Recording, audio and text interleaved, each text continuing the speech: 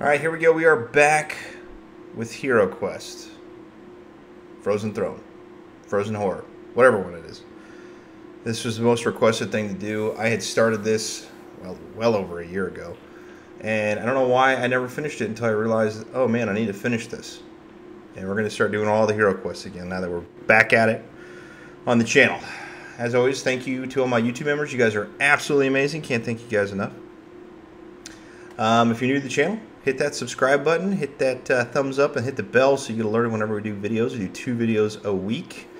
Unfortunately, I have to work. But without further ado, let's go.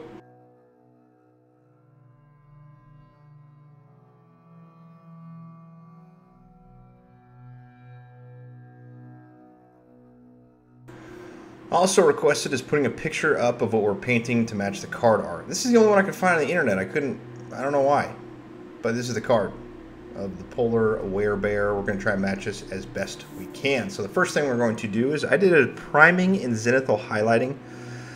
Um, obviously you're going to do it all in black and then spray from some gray and then white. We're going to put a Mechanicus Standard Gray all over the fur areas of our miniature. If you get it on the other stuff, it really does not matter. Do not worry about it.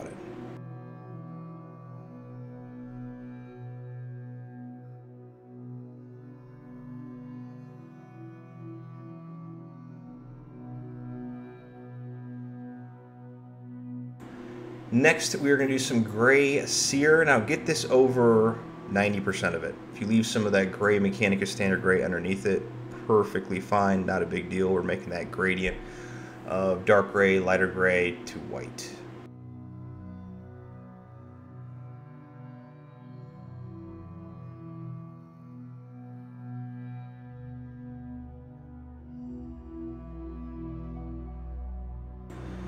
Next, we are going to use some uh, dry brushing, some Praxeti white. If you don't have Praxeti white, just use regular white. That's all it is. It's just a dry brush version for Citadel. It's kind of fancy. It's not really, it's just kind of waste of money. Just use white.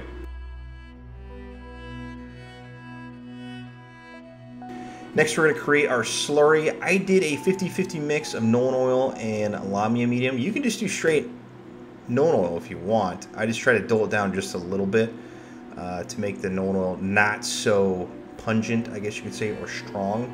But you can do either or. Uh, slap it all over that fur area that uh, is all over our polar werebear.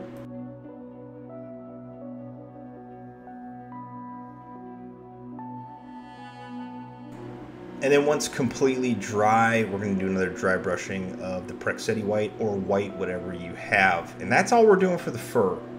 So if you want to make it whiter, you can like a more bright white, if you've got it, you can do that. So it's pretty white though. It's it's pretty. Trying to make it look a little dirty and grayish white.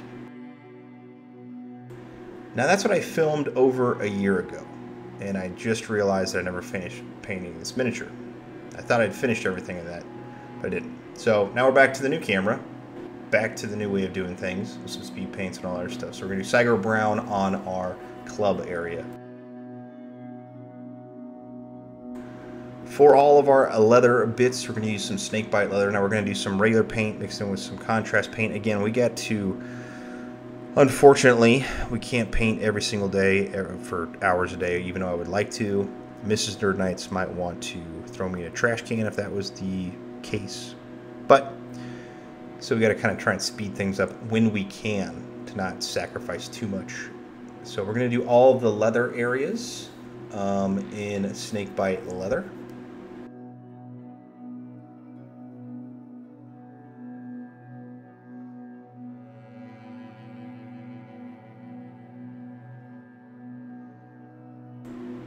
For our two palms, we're going to use a little bit of Wyldwood. There's one you can barely see on the right hand, and then you obviously can see the left-handed one.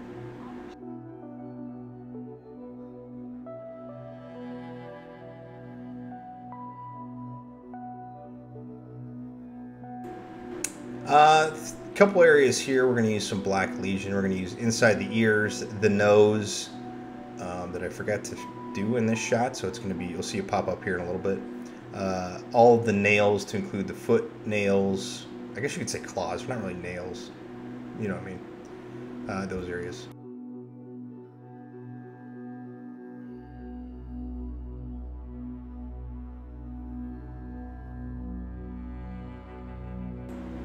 For like the it's not fur i guess it is fur that our polar werebear is like got on by its belt area. We're to use a little bit of skeleton brown or skeleton horde sorry. Now if you would like to see more of these hero quest expansions please leave a comment. Please let me know which expansion you want me to start with. If i get enough requests for one thing i'll just do it. I just want to see what people want to see painted so please let me know. Um, once you're good with the skeleton horde we're going to take some Briar Queen's Chill. We're going to paint those cloth areas in the front and the back.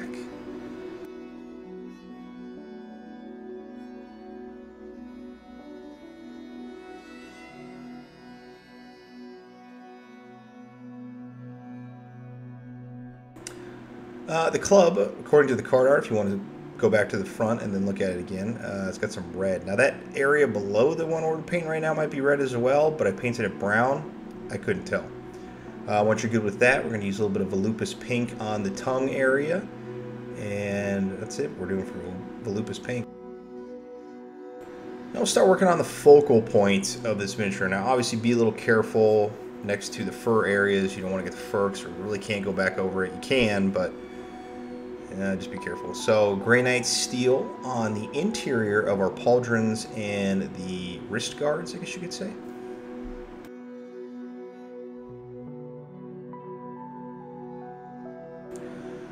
Then we're going to do the rest of the metal in Iron Warriors. Now, I know what you're thinking. This really doesn't match the card art. Trust me, it will in the end, and this is what makes it really stand out.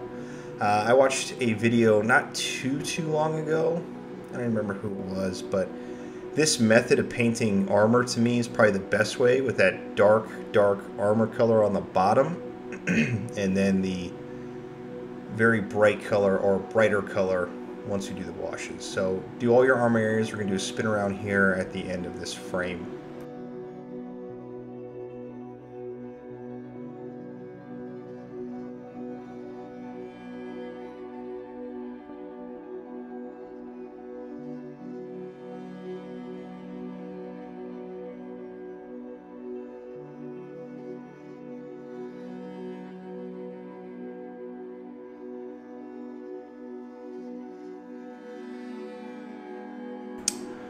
Uh, coming down to the last two base paints, we're going to use those teeth with a little bit of Morghast bone, and then we're going to go into the eyes, the pupils, and we're going to paint them white, and you'll obviously see why here in a little bit. That'll be it for our uh, base paints, base colors, I guess you could say.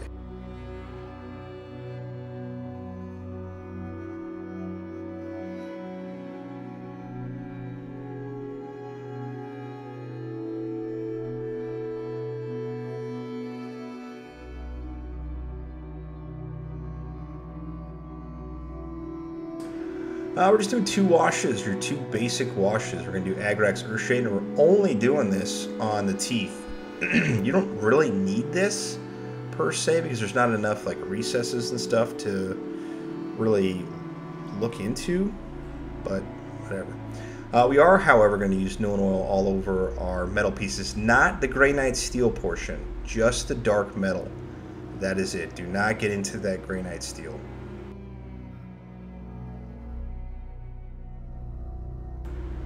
For our eyes, we are going to do Pilar Glacier, and you're just going to take a dollop of it and just put the drop in the eye. That's all you're doing. Nothing crazy.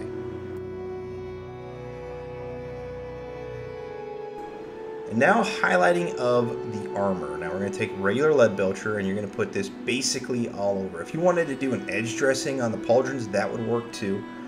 Um, but we're just going to put this all over the armor. This is going to have that nice dark undertone armor look mixed in with that brighter lead belcher on the top look. So follow along.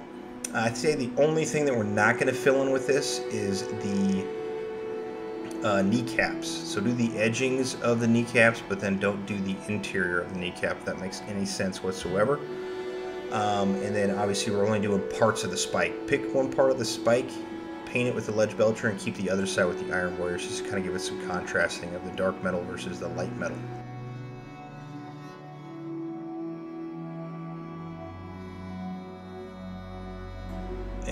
that's what she looks like right there. Very nice.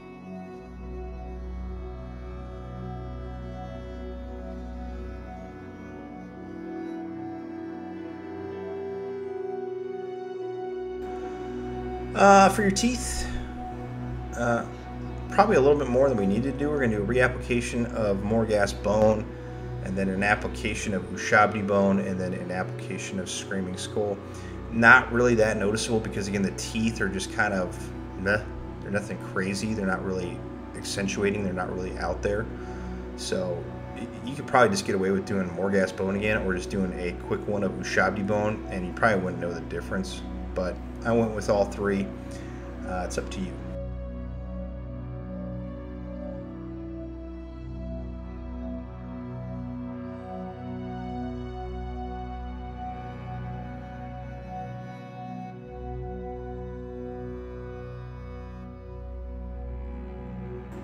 Coming down to the wire here, we're going to put a little bit of blue horror in those eyes, just a little bit, like where the pupils will go, just kind of brightens them up just a little bit.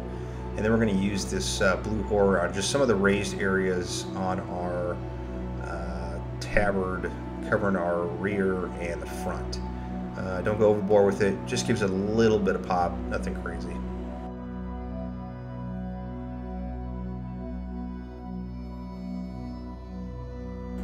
Uh, finally, we're doing the base, and we're going to put a little bit of Basilicanum Gray all over that. That white should really stick through. Um, and then you can put down some snow effect if you want. I just kept it as that. I just, I don't know. That's what I felt. Uh, and then your favorite part of painting this miniature, because it means you're done, some Abaddon Black on the rim, or whatever you want to paint it. This is what I do. Uh, and that's it that's nothing too crazy. You got two of them to paint, not too shabby. Doesn't uh, doesn't take a lot. The armor is the focal point, and that's all you're really looking for. Uh, so we're back at it with the uh, Hero Quest, and let me know, please, please, please, let me know what you want. What expansion do you want? We've done the main one, and then we've done the Frozen Throne, Frozen Horror, whatever it is. What do you want to see next? Leave me a comment. I'll get it, and if I get enough comments for one thing, I will uh, start painting that. So thank you for watching. Hit that subscribe button. We'll see you on the next one. Paint on.